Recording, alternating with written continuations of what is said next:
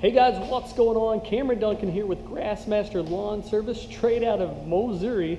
And I'm gonna tell you what, it's hot here today, but the good news, we're not gonna throw in the towel, we're not gonna give up, and the main reason is because we're passionate about this industry.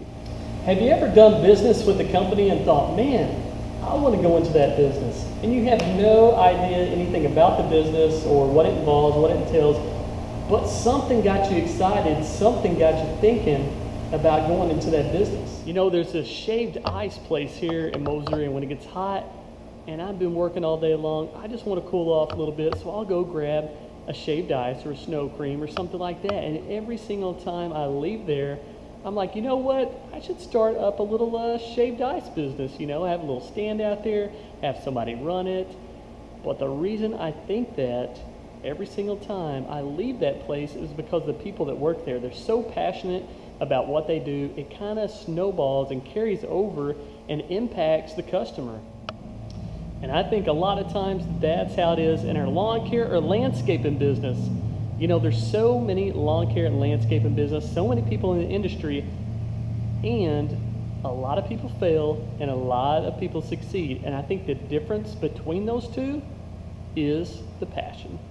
When you're passionate about your business, about the industry, when you get out there on the job site every single day, you do your best, you make it look absolutely amazing, man, that passion can carry over to the customer. So the customer sees your passion, uh, what you have done to their property, the transformation maybe that you've made, the way it looks when you leave.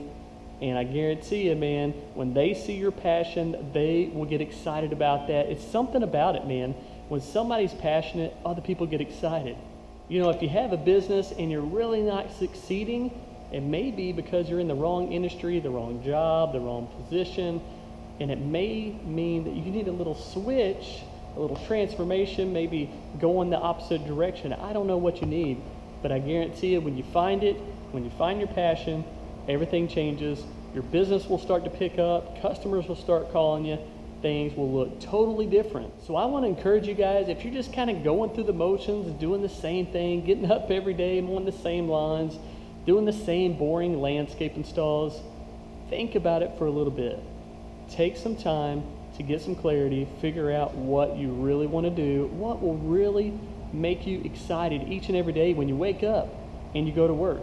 Maybe it's not mowing, maybe it's not landscape. I don't know what it is, but you guys know Try to find it out. Try to figure it out. I guarantee you, when you get some clarity and you get some passion back in your business, everything changes, man. Your life will change, your business will change, and ultimately, you'll live a better life.